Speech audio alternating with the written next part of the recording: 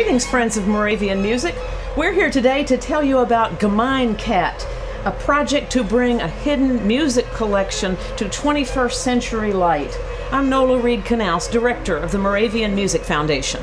I'm Gwyneth Michel, Assistant Director from the Bethlehem office. And I'm Barbara Strauss, the Cataloging Project Manager. We're here in the vault of the Moravian Music Foundation's Winston-Salem headquarters. 250 years ago, the Moravian settlers in early America composed and collected an amazing body of music, sacred and secular, vocal and instrumental, comprising some 10,000 manuscripts and early music publications. Some early handwritten lists help us to know what was available in many of the collections at a given date. This is a page from the 1808 catalog of the Salem Congregation Collection, listing anthems in the collection whose titles begin with the letter E. 50 years ago, brilliant scholars working with the Moravian Music Foundation created a state of the art card catalog of this body of music. Over 50,000 hand typed cards, many with musical enchantments hand copied on each of the cards. That was created for the Winston-Salem office. The Bethlehem office has never had a complete copy of the card catalog, while the Winston-Salem office has cards for most of the Bethlehem as well as the Winston-Salem holdings. And now, another group of top-notch scholars are bringing this information to light in a 21st century medium, the World Wide Web. We've called the project Gemeinkat, a catalog of music of the Gemeinde. This isn't as easy as simply typing in the information that's on the cards.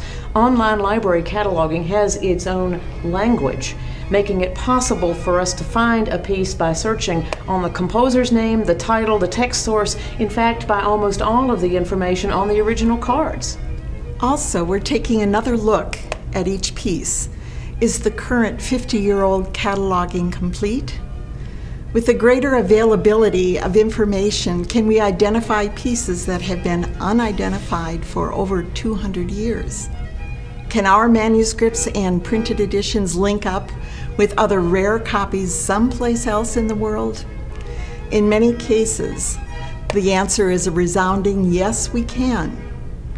It may take hours of detective work, but we're adding to the world's knowledge of music not only music by Moravian composers, but also music of their contemporaries, some of which was thought to be lost. This is truly a game changer for the Moravian Music Foundation.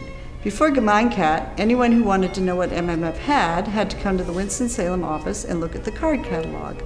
With Gemeinkat, this information is as close as your computer. As we brought some collections online already, we're receiving inquiries from around the world from musicians and scholars who can now find that MMF has these treasures, previously hidden from view. Such an undertaking is expensive. The generous bequest of Mrs. Louise Dieterle Nippert enabled us to kick off the project in late 2014, and we're plowing straight ahead, but we still need more money in order to complete it. We hope to complete the project by the end of 2017 we need to raise an additional $300,000 above and beyond what we have already received. This is a very special time in the life of the Moravian Music Foundation. Would you consider making a special gift to support Gemeinkat? You'll have the satisfaction of knowing that your gift is making possible the most significant project in MMF's last 50 years an undertaking that brings these previously hidden collections to the light of scholarship and musical performance around the world. Your gift is fully tax deductible, and we can receive your gift in a variety of ways online, through a transfer of stock, through a withdrawal from your IRA, by cash or check. Please contact Eric Salzwedel in the Winston-Salem office for more information or for assistance.